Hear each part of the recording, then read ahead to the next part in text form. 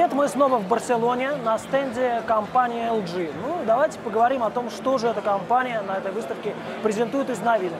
Вы, может, знаете э, G2? э, Да, да, да. Это маленький брат, я так скажу. Меньше и легче, я так понимаю, Меньше да? и легче, но во функции тоже сам.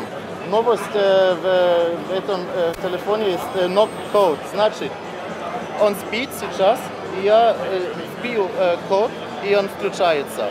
Значит, выключить два раза, и как четыре раза он включается. Что еще?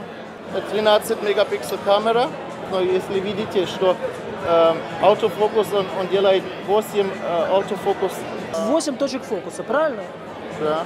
И, и это делается как? Это на фотографии и те, и другие вещи одновременно получаются резкими, или это дает возможность перефокусировки уже потом снятой Нет, фотографии? авто, э, это авто, авто. Если сейчас раз, два, три лица, и он раз, два, три лица Схватил. да, схватил.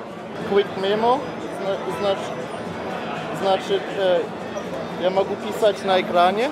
Сейчас можно что-то написать или э, тоже э, Изменить цвет, толщину Да. линии, да? да, да, написать что-то.